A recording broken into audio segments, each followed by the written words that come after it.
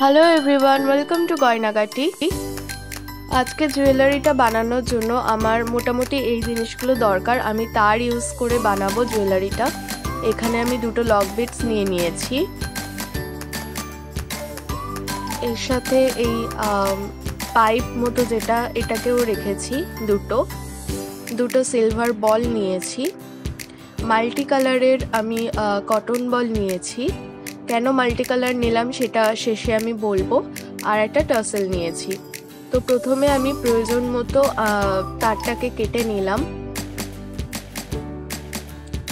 এবারে তারের এক প্রান্ত থেকে আমি একটা লক বিট নিয়ে নিয়েছি। তারের সাথে এখন আমি প্রথমে টাসেলটাকে অ্যাটাচ করব। টাসেলের একটা সাইডকে তো টাসেলের একটা দিকের লুপের মধ্যে থেকে তারটাকে নিয়ে আমি ফোল্ড করে আবার লক বিটের মধ্যে থেকে বের করে নিচ্ছি।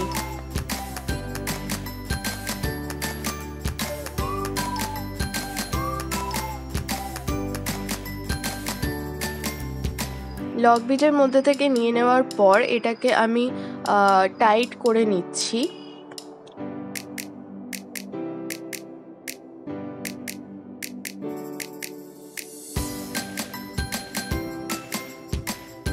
যতটা সম্ভব টেনে টাইট করে নেওয়া যায়, ততটা টাইট করে নিয়ে এবার লক বিটটাকে আমি চেপে সিকিওর করে নিলাম।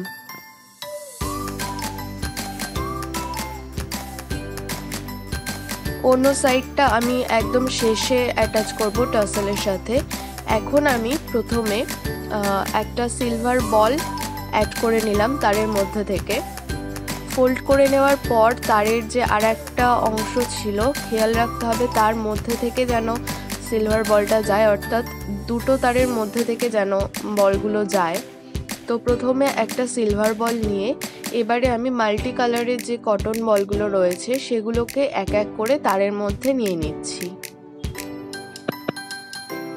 দুটো বল অ্যাড করার পর অতিরিক্ত যে তারের অংশটা ছিল, সেটাকে আমি কেটে নিলাম।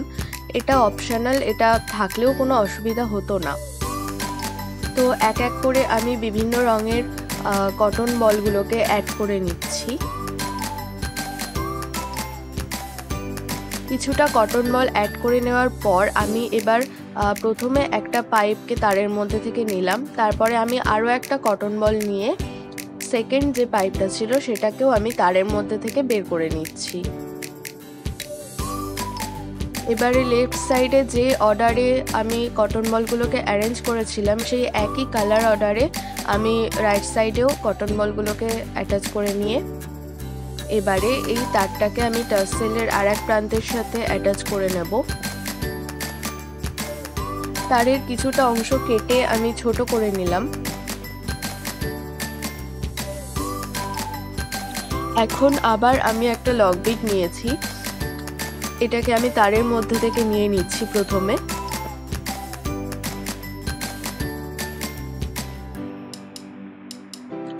এবারে টার্সেলের অপর যে প্রান্তটা ছিল, সেটার লুপের মধ্যে থেকে তারটাকে নিয়ে ফোল্ড করে আমি আবার লক বিটসের মধ্যে থেকে বের করে নিলাম।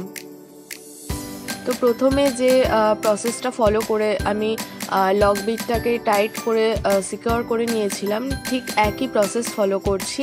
তারের এক্সট্রা অংশটাকে আমি দুটো কটন বলের মধ্যে থেকে বের করে নিয়ে কেটে নিলাম।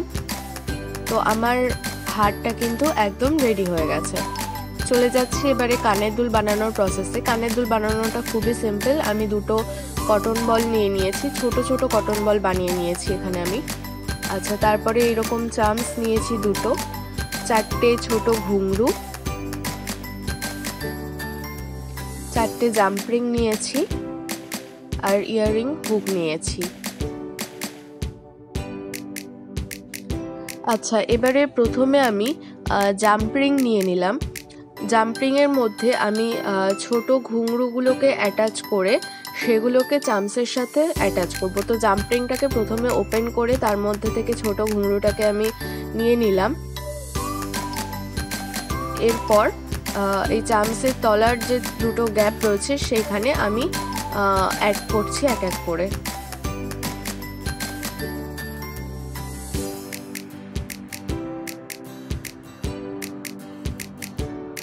একই প্রসেসে আমি আর একটা জাম্পরিংয়ের মধ্যেও ছোট ঘুঙরু অ্যাটাচ করে চামসের সাথে অ্যাটাচ করে নিচ্ছি।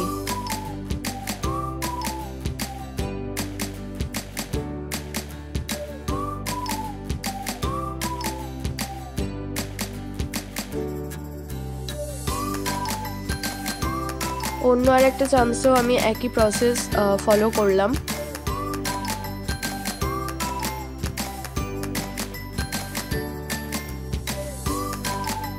আচ্ছা এবারে আমি ইয়াররিং হুকটাকে নিয়ে নিয়েছি।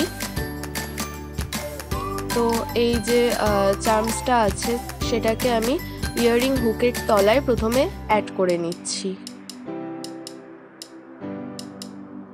এবার এটাকে একটু চেপে নিচ্ছি। হালকা হাতে প্রেস করতে হবে এটাকে।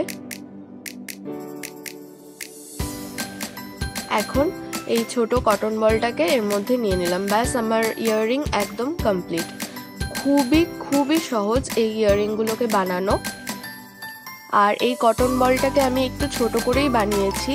আমার চ্যানেলে আছে, আমি কীভাবে কটন বল বাড়িতে তৈরি করি, সেই ভিডিও আমার চ্যানেলে রয়েছে। তো আমি সেইভাবেই একটু ছোট সাইজেরই কটন বল বানিয়ে নিয়েছি বাড়িতে।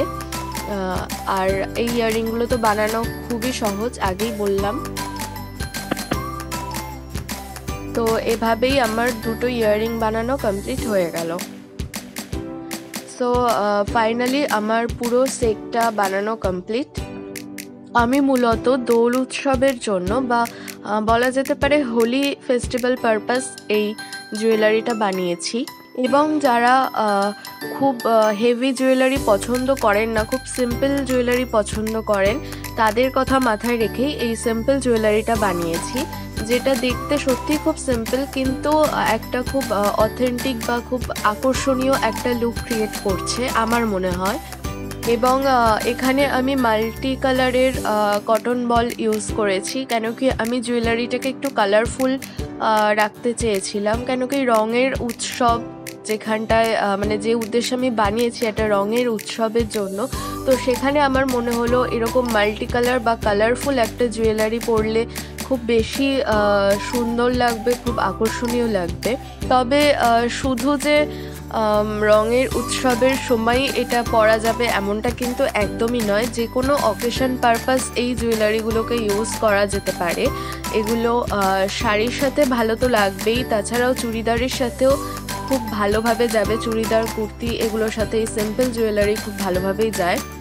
এই জুয়েলারিটার প্রাইস ডিটেলস ডিসক্রিপশন বক্সে দেওয়া আছে। আপনারা চাইলে চেক করে নিতে পারেন এবং আমার সাথে যোগাযোগ করতে পারেন। আজকের ভিডিওটা কেমন লাগল আমাকে কিন্তু অবশ্যই কমেন্ট করে জানাবেন। Stay safe be creative tata.